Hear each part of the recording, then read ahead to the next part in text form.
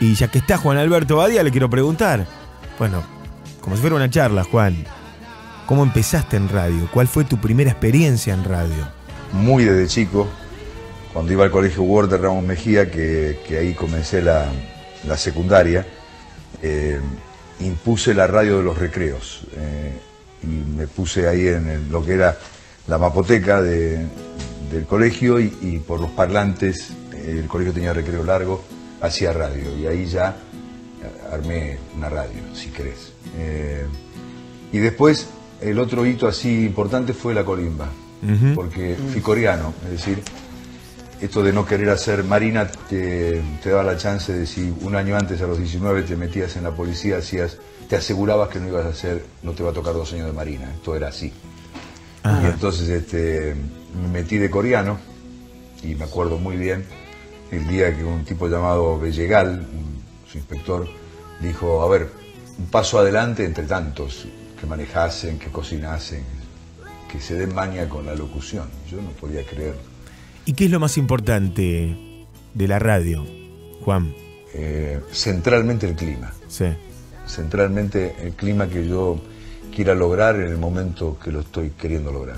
Los argumentos que tengo para poder hacerlo son esos, son los silencios, son la palabra, la música, los sonidos, no solamente la música. Es decir, eh, todo esto para mí es, fundamental para hacer radio, no, no solo una de, estas cosas, todo, pero al servicio del clima que quiero generar en el momento que lo estoy haciendo. Dice un eh, americano, que muy amigo de Francis Ford Coppola, dice, yo con eh, un simple disco de efectos, este, un poco de diario viejo y una chapa, logro unas tormentas impresionantes que mi amigo Francis Ford Coppola le cuesta millones de dólares lograr. Y es verdad, es decir, esto, esto con la ayuda de que escucha y, y, con un buen clima, vos podés hacer lograr cualquier cosa. Por eso digo siempre, esto de la radio con la primicia, la rapidez, a ver si qué dice el otro cuando yo estoy en una radio es difícil que haga zapping como en la tele, es muy difícil el zapping radial. Es cierto que la fidelización de la radio cada vez es, también más dudosa, pero hacer zapping constantemente en la radio tenés que tener mucha paciencia, tenés que tener un buen control remoto o tenés que estar en el auto distraído todo el tiempo. En la radio te quedas un poco más y cuando te estás quedando vos y te quedaste con la propuesta, vos seguís la propuesta que te están dando. Si te metieron en este momento en la lectura de un libro y a vos te interesa y te quedaste ahí, no te estás preocupado qué pasó en España. Eh, cuando te enterás, te enterarás, pero digo no, no, no estás a la, a la expectativa de qué está ocurriendo más allá de lo que me estás proponiendo.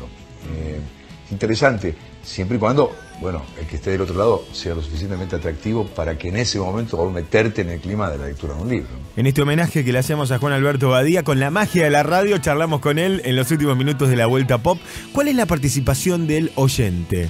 Eh, la gente que está ahora escuchándonos, cada uno que está en algún rincón de la Argentina escuchando al final de la Vuelta Pop. ¿Cuál es el lugar del oyente, Juan? El oyente lo que tiene que prestar, eh, más allá de su oído, eh, es su participación la radio es clave para que el oyente participe. Cuando la radio es simplemente un sonido que me permite no estar solo y que no escucho y solamente es un sonido, bueno, es otra cosa, cumple otra función, quizás parecida a la de la música ambiental. Eh, el oyente es clave eh, y, es la participación del oyente también es clave. La televisión cierra prácticamente el paquete este, con moño y todo, te lo entrega y poco podés meterte en ese paquete, porque está todo ahí. En la radio hay una gran porción destinada a vos, oyente, una gran porción para que vos completes el mensaje. De ahí, de ahí que la radio es mucho más interactiva. A nadie se le ocurre llamar a un canal de televisión y sin embargo hoy con la radio y la telefonía y está todo el tiempo uno... Yo me sorprendo llamando a la radio. Pero decís, soy Badía. Cuando estoy fuera del país no, cuando estoy adentro no tengo más remedio. Cuando vos te propones, tenés una propuesta radial, estás metido en la magia esta llamada de alguna manera la radio, que no, hay, no, no es tal si no está argumentada, pero digo, cuando estás ahí, estás haciendo radio. Tus recursos son de radio, no son lo mismo de la televisión. De nada vale que seas Badía conocido más, te diría que perjudica. Vos hiciste un programa de radio, pero en televisión. Sí, esto fue un homenaje que se me ocurrió a la radio. Sí, que fíjate que Imagen de Radio tenía la particularidad de tener un lenguaje radial en lo que se decía y un lenguaje muy estudiado no quiere decir esto que compartido el gusto, pero muy estudiado televisivo. Eh, disperso a la hora de la atención de quien está comunicando, buscando imágenes eh, diferentes sin necesidad de que, de que estas sean las centrales.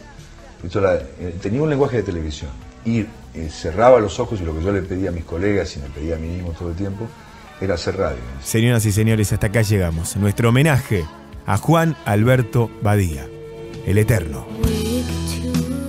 Yo creo que si uno no pasó al pedo por la vida,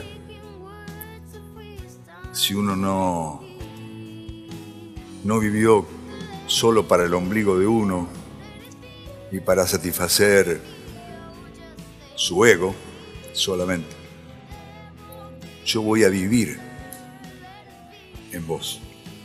Y van a pasar los años y la gente va a decir, uy, yo conocía a Juan. Y esa vibración me mantiene vivo más allá de mi propia vida. Es triste el olvido. Es triste cuando nadie sabe que pasaste por esta vida. Es triste. Es triste. Trascender es seguir viviendo. ¿Eh? Digo yo que no sé nada.